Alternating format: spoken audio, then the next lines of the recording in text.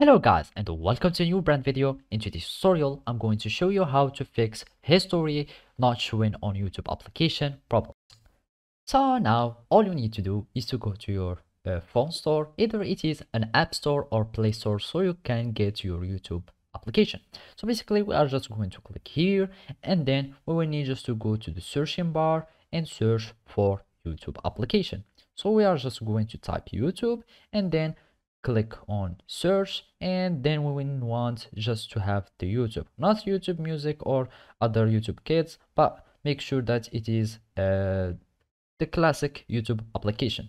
After that you will need just to click on get or download or install depending uh, on your uh, phone uh, system or operating system. And then you will need just to wait for the application to download and to be installed. Otherwise here in my uh, case I have the update button. So I'm just going to update my application and then I'm going to wait for the update to finish. And then all you need to do is to open your application.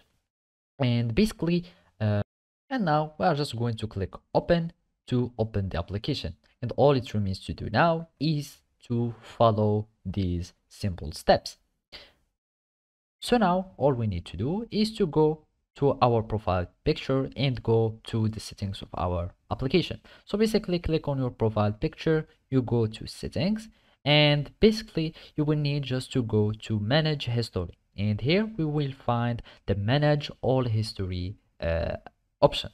You click on it and then it will take you to your google account history or youtube history. And basically you will probably only have uh, your uh, history that is not uh, activated. So you will need just to click on not saving your youtube history and then you will need just to click on turn on and you will have your history that will be showing and that will be working again.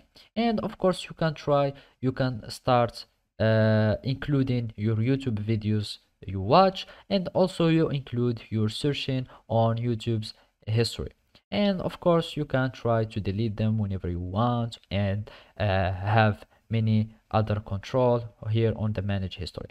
So basically this is how you can fix this problem. Thank you for watching and see you next time